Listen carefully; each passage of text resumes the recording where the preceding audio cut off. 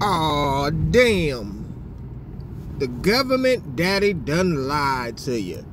Your government daddy told you that you would be more happy in his company than at home with your feet up after you've cooked and cleaned for your man and made sure that your kids are educated. But no, no, no.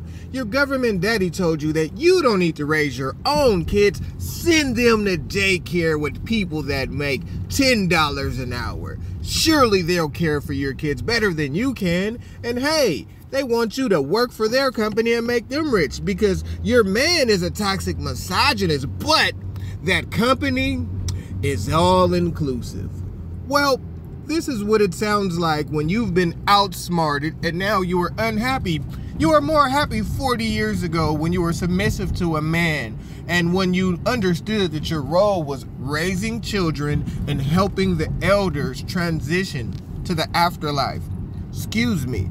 That is one of the most important positions in the world.